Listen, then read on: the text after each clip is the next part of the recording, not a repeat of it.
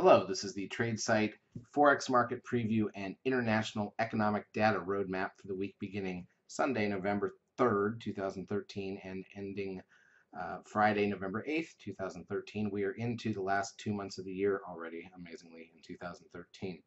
Uh, let's start out by looking at some of the daily charts, then we'll look at some of the intra-week charts, then we'll go through the economic calendar as usual, kind of get an overview of what's coming this week, what to prepare for. So here's a look at the US dollar index uh, daily chart going back uh, a couple months, and you can see finally got to move up here uh, this week, late in the week especially. We had only gotten to 11 uh, out of 13 on the seeker towards a buy signal, but now we're breaking out of this range from the last month or so. Maybe that green static trend line comes back into play. We never held this red line that I've been watching, but the green static trend line might be the target to the upside here now that we're picking up a little bit of speed. Let's also look at the euro dollar. You'll notice that this one uh, rolled over this week. We made some good money on both the euro and the pound this week. Had a nine bar setup that topped it out last week. That gave you this red static trend line. And look at how this week exactly came back and tagged that static trend line. So it's very, very technical action on the euro dollar. Here's the pound dollar with the seeker. Uh, the 13 sell signal that we had two weeks ago definitely helped and contain the market, came nowhere near the risk line threatening to break down here. And so all the signs that we had been looking at last week, if you go back and listen to last week's recording about the dollar looking like it was ready to get stronger, have certainly come to fruition here on these charts over the last week. Uh, here's the Aussie dollar. You can see the 13 sell signal there, tagged the risk line exactly and failed and has come into play. You can uh, we're eight bars down towards a new setup phase, so a nine would complete that, and we're getting near that static trend line. Now let me also show you the uh, New Zealand dollar one, which accelerated a little more on the downside. This one had the 13 sell signal on both the seeker and the Comber on the daily and uh, sold off a little more sharply. So again, all the stuff we were looking at last weekend in terms of the dollar likely getting stronger uh, definitely played out this week. Let's take a look at the intra-week action.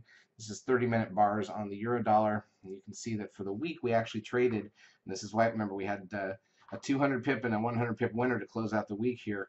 Uh, euro dollar traded over 300 pips of range for the whole week. Now, Monday, Tuesday, and Wednesday were not exciting, but Thursday and Friday, two days. This is this is all we really want to see. If we can get three days a week with this type of general action, even if it's not in the same direction, although certainly two days in a row in the same direction is nice because it gives us the opportunity to carry our winning trade over. But even if we get these types of ranges, uh, you know, two or three days a week, I'm going to go back to full size, so I'm anticipating that we can get back to that soon.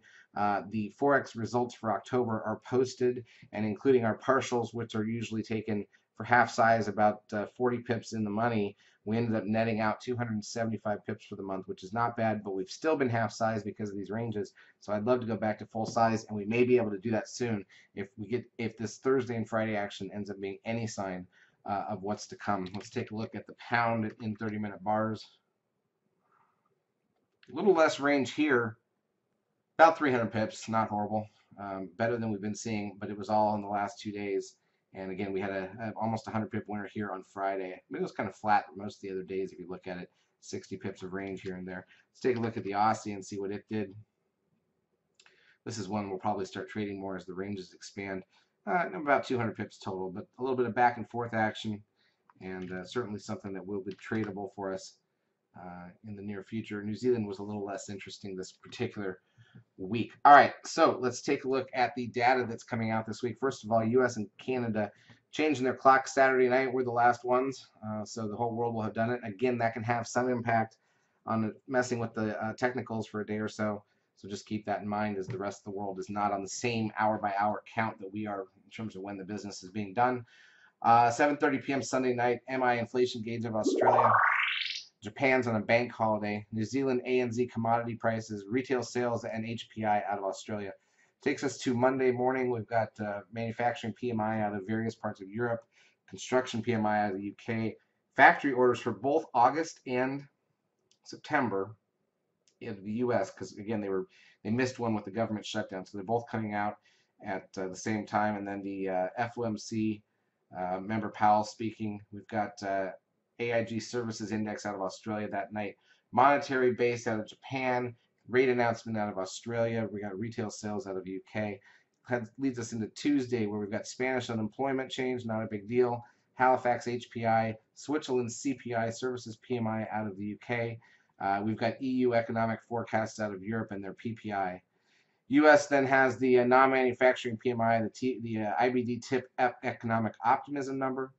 Uh, Tuesday night, New Zealand's unemployment data, labor cost index, Japan's monetary meeting minutes from the last uh, Bank of Japan meeting, Australia's trade balance, 8 p.m. Eastern, 10-year bond auction out of Japan takes us into Wednesday, where we've got the services PMI data out of various sectors of Europe, manufacturing and industrial production out of the UK, retail sales out of Europe, German factory orders, challenger job cuts out of the US, building permits at 9:30 a.m. Eastern Time out of Canada, CB leading index in the US, crude oil inventories here in the US.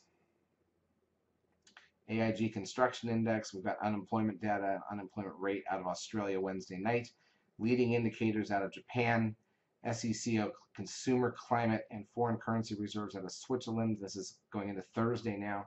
10-year bond auctions out of Spain and France, German industrial production rate announcement out of both the Bank of England and the ECB European Bank, Central Bank. Those will be back to back uh, in the wee hours of Thursday morning here in the U.S., followed by their press conferences. Finally, because this number was delayed, and this will be a big one for us, advanced GDP. This is going to be the first look at GDP. And by the way, these numbers are all off by an hour because of the time change. It should be 8.30 a.m. Eastern Time uh, on Thursday will be that first look at GDP for Q3 that got delayed from this last week and would have been a big one. Be interesting to see what we get there.